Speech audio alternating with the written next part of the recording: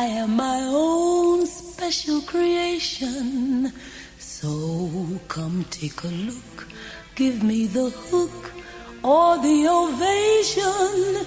It's my world that I want to have a little pride in.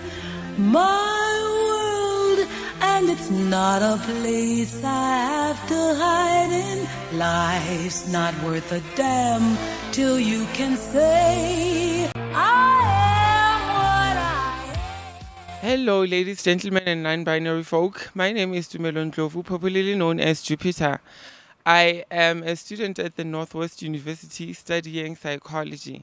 I am the outgone current affairs and community stakeholder officer of the LGBTQIA plus Transformation Society 2021-2022.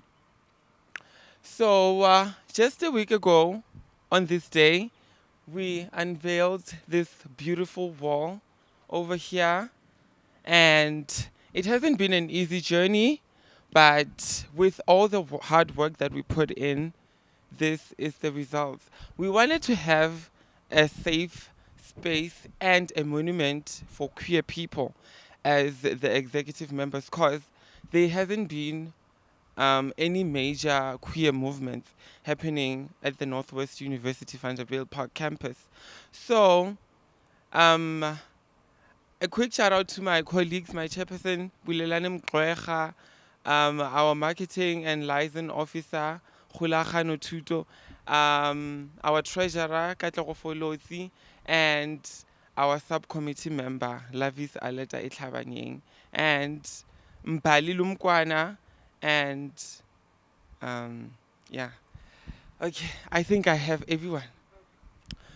So, we had words on the wall because these words are what queer people always strive and fight for. So we wanted to have a symbol that accommodates, not a symbol, a monument that accommodates um, queer people on campus.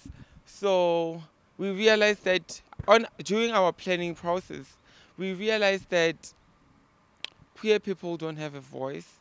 Queer people don't engage because they don't know a lot about um, queer awareness activities on the campus.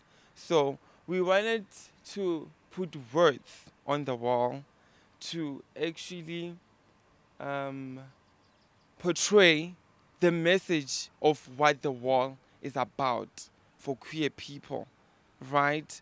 Diversity, because they have been there, there's a lot that happened since like until we got here.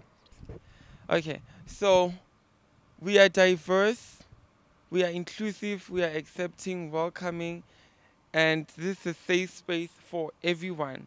This is a message for all queer students on campus that they are not alone, um, that everyone here in this environment recognizes and appreciates queer people, right? That was one of the main objectives for this Pride Wall.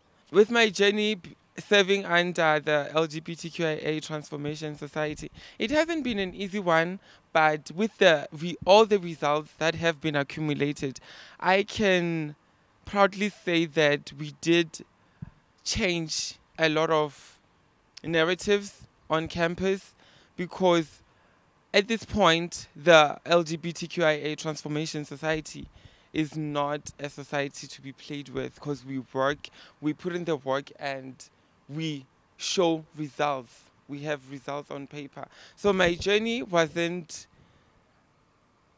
all peaches and cream. It was a rocky journey. Uh, who didn't actually wanna take this monument as something that needs to be here. They didn't take us wanting to have a pride wall on campus as something that's mandatory.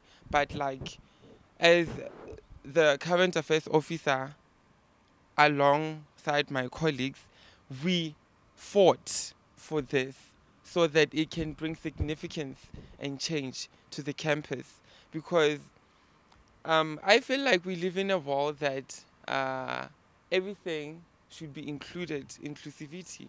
So, this pride wall and with my journey to get here, um, I feel like we did scratch the surface. I am my own special creation. So come take a look. Give me the hook or the ovation. It's my world that I want to have a little pride in.